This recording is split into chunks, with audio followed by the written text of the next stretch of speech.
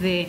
de, de, julio. Sabéis que se han ido celebrando la fase, la fase selectiva en el Auditorio Municipal del Pósito y que será a partir del próximo 17 de agosto y ya en el Teatro Cervantes cuando empecemos de lleno con esa programación, con esa semana en la que el flamenco se vive de forma más intensa y más especial, aunque quiero recordar que afortunadamente a lo largo de todo el año hay mucha actividad vinculada a este cante y a este arte gracias a las cinco peñas que tenemos en nuestra ciudad y a las que siempre aprovecho para agradecer su colaboración. Como digo, los días 17 y 18 y siguiendo con con una iniciativa que poníamos en marcha el año pasado y que tuvo una, una acogida estupenda, pues volvemos a hacer ese seminario para instrumentos melódicos para el domingo 18, poner sobre las tablas esa orquesta flamenca de Linares, que ya actuó, como digo, el año pasado por primera vez y que en esta ocasión queremos repetir experiencia. Eh, de la mano de Óscar de Manuel, que es premio Filón al, mejor instrumentista de flamenco, que así resultó galardonado en la Unión hace, hace dos ediciones y que, y que, bueno, el año pasado fueron muchos los inscritos, un total de 40 personas, aún sigue abierto el, plazo de inscripción y esperamos que este año también sean muchos más y es una forma de acercar a la gente joven, sobre todo a los alumnos y a las alumnas del conservatorio, al flamenco. Creo que es muy necesario eh, pues eso, que haya, que haya cantera y que, y que, y que, bueno, que sean los más jóvenes los que también se acerquen de esta manera a este, a este cante, a este cante nuestro de las tarantas, este patrimonio inmaterial de la humanidad.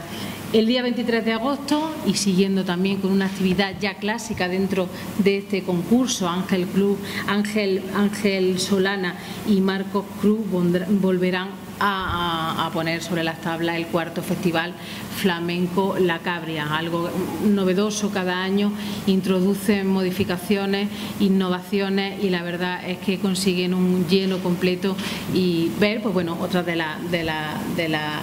el arte del baile vinculado al flamenco.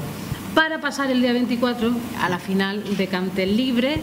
en el Teatro Cervantes con la actuación de Rancapino Chico como artista invitado y el día 25 la final de Tarantas con la actuación de Marina Heredia. También el 25, momento importante porque se fallará el premio Fernando Medina. Serán los dos cantadores más jóvenes que hayan llegado a esa, a esa final de Taranta, que en este caso puedo decir que son Juan María Guzmán Planas de Bailén, Jaén y Alba Marto Garrido de Linares. Esas dos personas serán, esos dos jóvenes serán los que se disputen el ansiado premio Fernando Medina. Los finalistas en Cantes Libre son Moisés Martínez de Cartaya, Huelva, José López Castro, paisano de Linares, Antonio Ortega de Mairena del Alcor, Sevilla, Juan Ruiz Coronel, también paisano de Linares, Álvaro Rodríguez de Órgiva, Granada y Alfonso León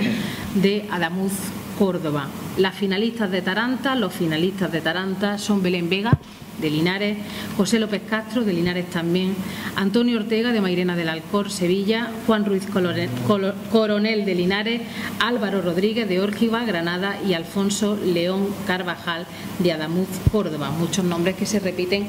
en la final de Cantes Libre y en la final de Taranta. El jurado de este año, el jurado de este año no lo ha tenido fácil, han sido,